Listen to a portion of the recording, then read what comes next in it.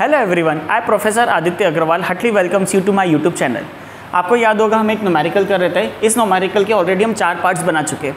आज fifth part करेंगे और फिफ्थ पार्ट में हमको क्या करना है? ये जो हमने पिछली बार आरसीसी की छत भरी थी, इस आरसीसी की छत में हमको क्या करना है? टेन सेंटीमीटर की सीमेंट लाइम सीमेंट की या फिर सीमेंट कंक्रीट की या फिर आप किसी भी चीज़ से इसकी फिनिशिंग कर सकते हैं। क्यों? क्योंकि जब भी आप आरसीसी वर्क करेंगे तो उसके बाद आपको सीमेंट से उसको फिनिश करना होगा। या फिर आपके पास एक अल्टरनेटिव और है कि आप उस पर टाइलिंग्स कर सकते हैं। मतलब आप उस पर टाइल्स लगा सकते हैं। बहुत सारे घरों में ऐसा देखा गया है कि छत के ऊपर लोग टाइल्स लगाना ज़्यादा प्रेफर करते हैं। क्यों? क्योंकि उसमें क्लीनलीनेस भी बहुत ईजिली आपको मिल जाती है और दिखती भी सुंदर है। अगर आप टाइल्स लगाना चाहते हैं तो आप इसमें टाइल्स की कॉस्ट ऐड करेंगे। बट अगर आप लाइम कॉन्क्रीटिंग या सीमेंट कॉन्क्रीटिंग करना चाहते हैं तो आप सीमेंट कॉन्क्रीटिंग करेंगे। तो अभी हम एस्टिमेशन में सीमेंट कॉन्क्रीटिंग करेंगे। फिर इसके साथ अगर आप लोग अल्टरनेटिव्स को चाहेंगे तो हम एक टाइल्स के लिए भी एक छोटा सा वीडियो क्रिएट कर लेंगे। ठीक है? तो अभी हमारे पास नेक्स्ट नाइन्थ नंबर का पॉइंट आएगा। Ten centimetre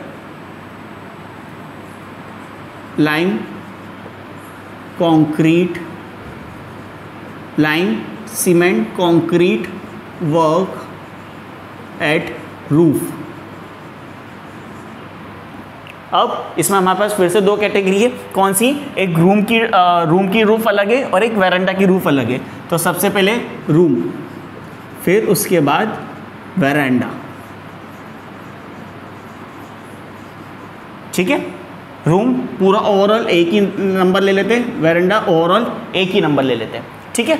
अब इसकी लेंथ अब आप जो फिनिशिंग करोगे, वो फिनिशिंग कहाँ पर करोगे? जितना जितना स्पान आपको दिख रहा है। मतलब बाउंड्री वॉल के बाद जितना जितना स्पान बच रहा है, उतना। तो अगर हम इसका रूम का एक प्लान बनाएँ तो ये प्लान है मेरे रूम का, जिसमें यहाँ पर ये जो वॉल है मेरी, ये ट्वेंटी की है और यहाँ पर ये जो वॉल है, ये ट्वेंटी की है। ये हमने पैरापेट वॉल बनाई थी लास्ट टाइम जब हमने फ़र्स्ट क्लास ब्रिक का सुपर स्ट्रक्चर करा था। ठीक है? ये वाला 10 सेंटीमीटर एक अलग से मार्जिन है, ये वाला एक 10 सेंटीमीटर अलग है। क्यों? क्योंकि हमारी ड्राइंग में ये वाली 30 सेंटीमीटर की वॉल है और ये वाली 30 सेंटीमीटर की वॉल है। ठीक है? आप देख सकते हैं, ये वॉल 30 की है, ये वॉल 30 की है। और ऊपर जब हम स्ट्रक्चर छत के ऊपर गए थे तो वॉल 20 की हो गई थी। तो मतलब अंदर का एरिया कितना हो गया? 4.5 प्लस ये वाली वॉल कितनी है? 30 मतलब 0.3 प्लस ये वाली वो, ये वाला रूम कितना है? फोर ठीक है? प्लस टेन सेंटीमीटर यहाँ से बच रहा है। क्यों? क्योंकि नीचे थर्टी की थी, छत पे ट्वेंटी की है। तो टेन सेंटीमीटर यहाँ से मार्जिन बच रहा है और टेन सेंटीमीटर इस साइड से बच रहा है। मतलब हम इसको बोलेंगे क्लियर एरिया क्लियर स्पान या फिर क्लियर लेंथ अंदर से अंदर का डिस्टेंस मतलब एक वॉल से लेके दूसरे वॉल का डिस्टेंस हमने लिया है लेंथ फिर से बताते एक बार 4.5 plus point three, plus four, plus ये ट्वेंटी कौन सा है? टेन सेंटीमीटर यहाँ से बचा था, टेन सेंटीमीटर यहाँ से बचा था। क्यों? क्योंकि नीचे वॉल थर्टी की थी, ऊपर जाके ट्वेंटी की हो गई। तो ये कितना आ रहा है? 8.5 8.8 9 तो ये डिस्टेंस कितना आ गया? 9 मीटर ठीक है? अब इधर हाइट ये 5 है। ठीक है? 10 सेंटीमीटर ऊपर से बच रहा है। क्यों? क्योंकि वॉल 20 की हो गई। ऊपर भी छत पे वॉल ट्वेंटी की हो गई तो टेन यहाँ से टेन यहाँ से तो five plus ten plus ten तो ये भी कितना आ गया? फाइव पॉइंट टू है समझ में? कितना आ गया? फाइव पॉइंट टू अब मुझे बताइए, इसकी हाइट होगी कुछ? इसकी कुछ हाइट होगी या नहीं होगी? इसकी कुछ भी हाइट नहीं होगी, ठीक है? ये 5.2 गलती से इधर आ गया, ये 5.2 इधर आएगा ब्रेड थे उसकी। ठीक है? अब नेक्स्ट आते हैं वेरेंडा ये वेरेंडा भी उसी साइज़ का है क्योंकि प्लॉट जितना नीचे जा रहा है उतना ही ऊपर है। यहाँ पे वॉल्स ऑलरेडी 20 की है तो हमको कुछ भी करेक्शंस करने की ज़रूरत नहीं है। आप चाहे तो देख सकते हैं 4.5, 0.3, 4 10 इधर से 10 इधर से। तो ये वापस कितना आ गया? ये आ गया 9.0 ठीक है? अब ये वाला स्पान 2.5 मीटर अब यहाँ पे तो कुछ है नहीं यहाँ पे तो ऑलरेडी वॉल बनी हुई है। और यहाँ पर भी कुछ नहीं है। तो ये क्लियर स्पान कितना आ रहा है? सिर्फ़ और सिर्फ़ 2.5 क्योंकि हमको फिनिशिंग सिर्फ़ इतने इतने में ही करनी है। तो ये डिस्टेंस कितना आ गया? 2.5 आया समझ में? इसको थोड़ा सा रब कर देते हैं। चलिए, एक पॉइंट और लिख लेते हैं, फिर दोनों को एक साथ स्टार्ट करते हैं। नेक्स्ट आएगा हमारे पास tenth point which is known as three centimetre insulation layer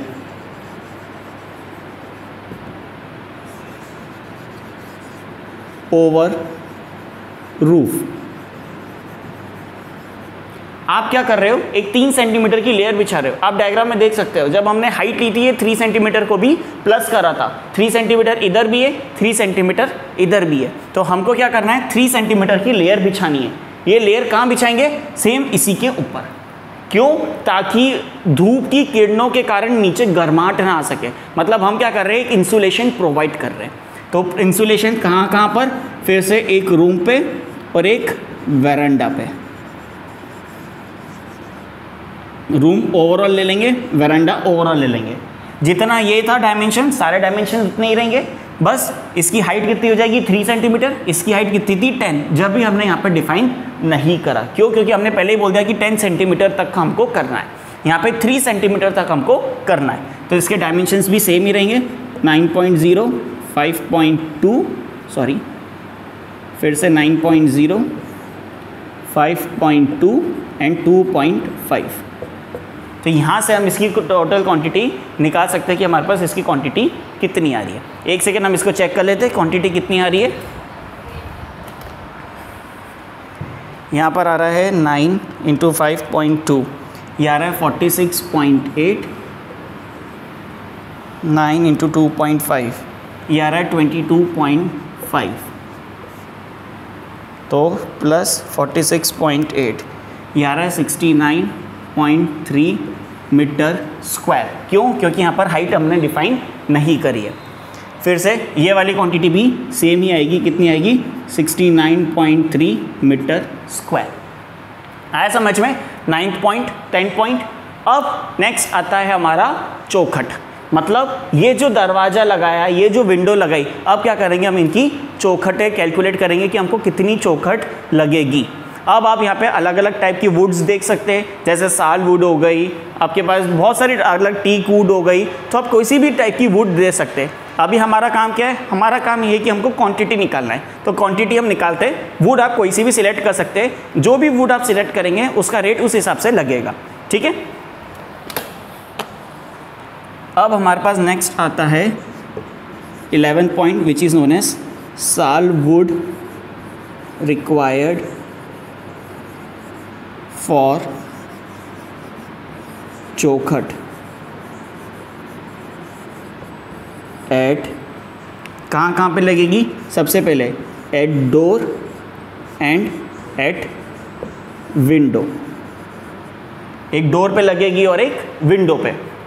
अब इसको थोड़ा सा प्रैक्टिकली समझते जैसे अगर ये मेरा एक दरवाज़ा है, ये मेरा एक डोर है, थोड़ा सा ज़्यादा बड़ा हो गया ये डोर है। तो डोर डोर पे चौकट कहाँ कहाँ पर आती है?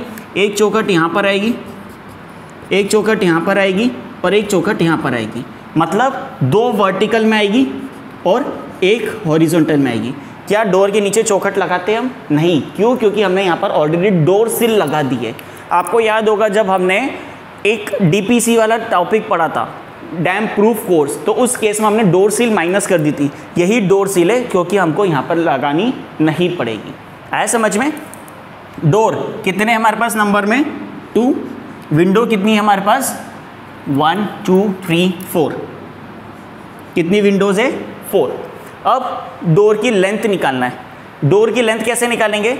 ये जो डोर है, इसका क्या साइज़ है? 1.2 मीटर और इसकी हाइट कितनी? 2.1 मतलब ये कितना है? 2.1 ये कितना है? 2.1 और इसकी विथ कितनी है? 1.2 अब एक चीज़ आपको ये समझना है कि ये जो 2.1 मीटर है तो ये थोड़ा सा ज़मीन के अंदर भी जाएगा। एकदम जैसे ये ग्राउंड सरफेस है तो ग्राउंड सरफेस पे चौकट खड़ी नहीं रहती, थोड़ी सी अंदर जाती है। तो हम क्या करेंगे यहाँ पे? 5 सेंटीमीटर इंसर्ट करेंगे। कहाँ पर? ज़मीन के अंदर। 5 सेंटीमीटर एक मतलब बहुत मामूली सा। तो ये कितना हो गया? 2.15 हो गया। ये भी 2.15 हो गया। और ये तो 1.2 ही रहेगा। तो यहाँ से हमारा डोर का साइज़ हल्का सा चेंज हो रहा है। कितना हो रहा है? 4.3 5.5 आया समझ में? फिर से 2 पॉइंट वन फाइव कैसे आया? पाँच सेंटीमीटर हमने थोड़ा सा डोर को ज़मीन के अंदर से लिया इतना इतना यहाँ पर। ठीक है? नेक्स्ट विंडो विंडो का साइज़ तो हमको ऑलरेडी गिवन है। कितना है? वन मीटर है। और इसकी विथ कितनी है? वन पॉइंट फाइव मीटर तो यहाँ पर ये क्या हो जाएगा? डोर हॉरिजॉन्टल आ गया वर्टिकल आ गया विंडो वन मीटर ऐसी वन पॉइंट फाइव मीटर ऐसी मतलब one point five one point five और वन तो विंडो तो हमको नीचे डालना नहीं है तो जो भी है हमको एग्जैक्ट साइज़ लेना है, कितना हो गया? Three plus one four I hope यहाँ तक आपको कोई डाउट नहीं होगा, ठीक है? विथ डोर की विथ जनरली जो रहती है वो 12 सेंटीमीटर रहती है और विंडो की जो चौखट रहती है वो जनरली 10 सेंटीमीटर के आसपास की रहती है। ठीक है? अब इनकी थिकनेस जो पैनलिंग रहती है, उसकी जो थिकनेस रहती है, वो जनरली 8 से 10 सेंटीमीटर के आसपास रहती है। तो अभी हम क्या करते हैं, एक स्टैंडर्ड 8 सेंटीमीटर फॉलो कर लेते हैं। ये आप इसको वेरी कर सकते हैं, जो भी आप अपने डिज़ाइन डिज़ाइन को लेंगे, उसके हिसाब से। अभी मैंने एक रैंडम वैल्यूज़ लिए, क्यों? क्योंकि मेरे को पता है कि स्टैंडर्ड आठ सेंटीमीटर तक की अपन उसकी हाइट लेते हैं। ठीक है? तो यहाँ से हमारे पास इसकी कैलकुलेशन आ जाएगी कि हमको यहाँ पर ये टोटल क्वांटिटी कितनी लगेगी। अब इसके बाद पहले इसकी क्वांटिटी निकाल लेते हैं two into five point five into point one two into point zero eight ये आ रहा है point one one sixteen into point one into point zero eight point one three तो यहाँ से कितना आ रहा है? पॉइंट टू फोर ठीक है? I hope this points are clear to all of you okay next last topic हमारा इसमें आता है which is known as twelfth point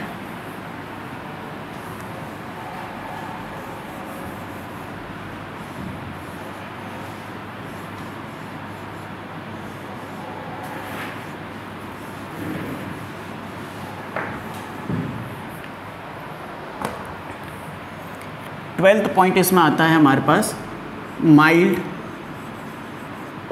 iron bars at window and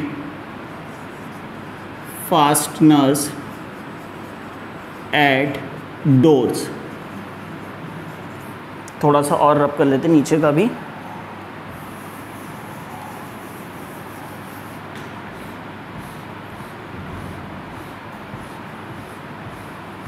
ठीक है?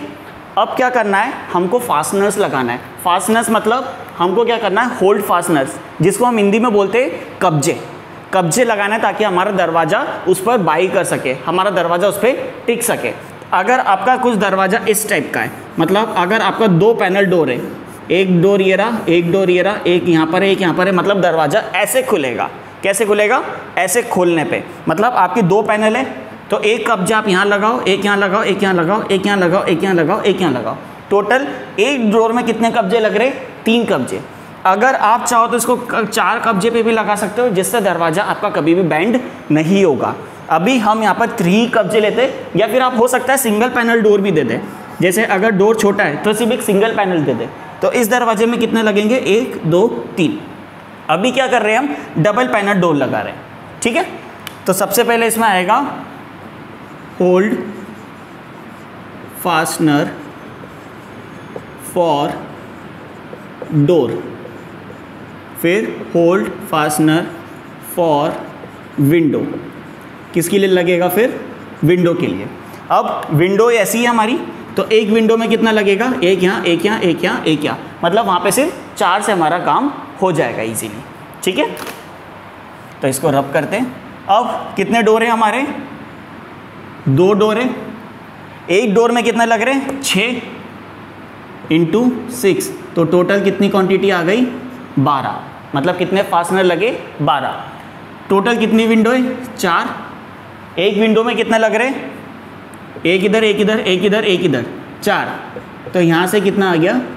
चौबीस। तो टोटल हमको कितने लग रहे थर्टी सिक्स नंबर अब ऐसा जनरली देखा जाता है कि एक फास्टनर जो रहता है, वो अप्रॉक्सीमेटली वन के के आसपास रहता है।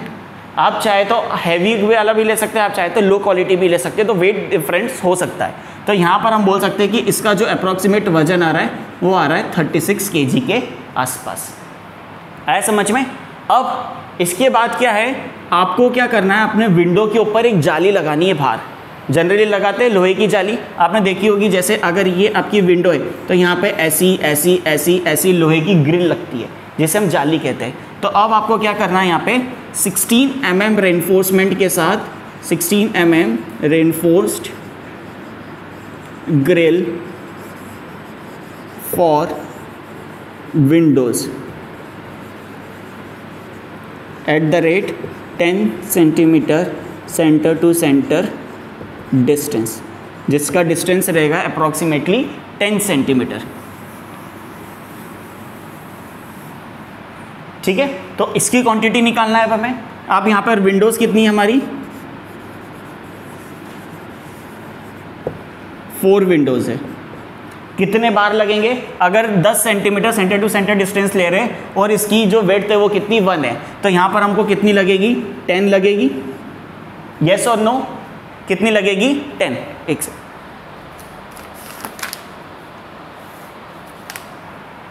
दस क्वांटिटी आ गई और इनकी लेंथ कितनी होगी? हमारी विंडो की लेंथ कितनी है? 1.5 मीटर। कितना लग रहा है? Into one metre. अब ना तो इसकी कुछ विथ होगी, ना इसकी कुछ हाइट होगी। तो यहाँ से हमारे पास ये कितना आ रहा है? 40 इंटू वन मतलब यहाँ पर आ रहा है हमारे पास 60 मीटर। क्या आ रहा है? 60 मीटर। और ये जो रेनफोर्समेंट डलता है, ये रेनफोर्समेंट 16 एम mm का जो आता है, वो अप्रॉक्सीमेटली 1.58 kg पर मीटर होता है। मतलब अगर आपके पास एक मीटर है तो अपन उसको बोलेंगे कि उसका जो सरिये का वज़न होगा, वो होगा 1.58 kg ये जनरल है। तो ये कितना आएगा हमारे पास? 60 इंटू वन तो यहाँ से हमारे पास ये डायमेंशन कितना निकल के आ जाएगा? 60 into one point five eight ये हमारे पास आ रहा है 94.8 kg. और ऊपर वाला कितना था? 36 kg प्लस 94.8 तो यहाँ से हमारे पास कितना आ रहा है? प्लस 36 यहाँ पर हमारे पास आ रहा है 130.8 kg या फिर 1.31 क्विंटल तो यहाँ से हमारे पास क्वांटिटी कितनी आ रही है? 1.31 क्विंटल अब एक किलो का जो भी रेट होगा, एक क्विंटल का जो भी रेट होगा, आप उसको रेट में मल्टीप्लाई कर देंगे तो आपको पता चल जाएगा हमारे पास ओवरऑल क्वांटिटी कितनी आ रही है। ठीक है? तो हम एक थोड़ा सा कंक्लूड कर लेते हैं। आज हमने क्या सीखा? आज हमने सीखा कि टेन सेंटीमीटर की हमने लाइम कंक्रीट या सीमेंट कंक्रीट की लेयर डाली, फिर उसके बाद हमने थ्री सेंटीमीटर का इंसुलेशन डाला, फिर उसके बाद हमने एक चौखट डिज़ाइन करी। उस चौखट के बाद हमने उसमें सरी फासनर्स लगाए। वो फासनर्स लगाने के बाद हमने उसके अंदर विंडोज़ के ऊपर जाली लगाई। तो आई होप आपको ये वीडियो समझ में आया होगा बट अगर आपको फिर भी कोई डाउट आते तो आप हमें कमेंट बॉक्स के थ्रू बता सकते। हैं so thank you thank you so much for listening me